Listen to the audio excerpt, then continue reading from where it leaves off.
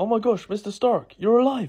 I'm so glad you're back. I hate you 3000. I just lost my dog.